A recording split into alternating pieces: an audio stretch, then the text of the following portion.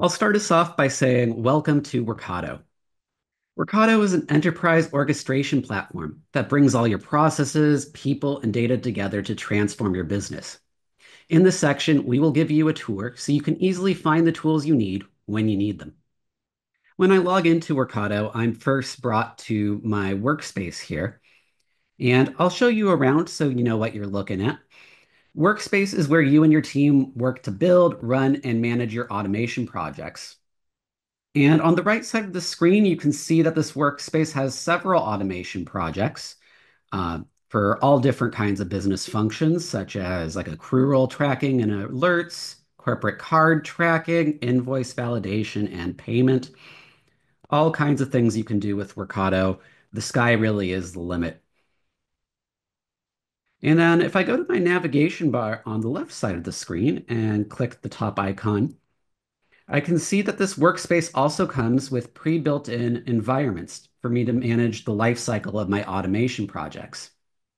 You build in dev, move to test for QA, and then finally you deploy in production.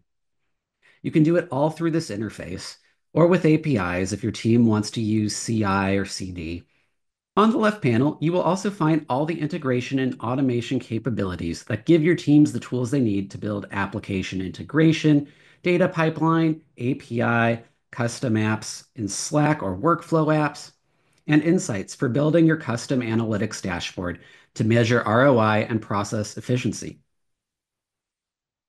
As the number of your automations grow, you can use the Operations Hub here to monitor the health of your automations and integrations. It's an analytical tool to measure uptime, identify critical issues that need attention, and is the control center to keep everything up and running. You will also find a section that has a variety of tools that come in useful depending on your project requirements. On-prem agents that provide connectivity to ERPS, databases, files on-prem, recipe lifecycle management for workflows to promote projects from one environment to another, connector SDK to even build your own connectors.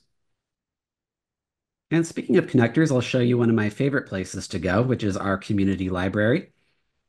So if you are thinking about automating a business process, you likely aren't the first person to have thought of it. So when I'm going to start a new project, a lot of times I like to see, has someone done this already?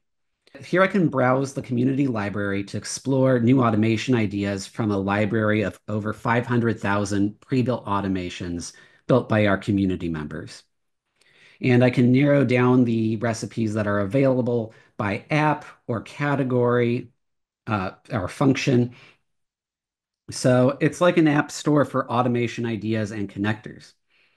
So if I were to build an HR automation with Workday, let's say, I can click into Workday and I can see some curated recipes towards the top, as well as to see what other recipes are popular.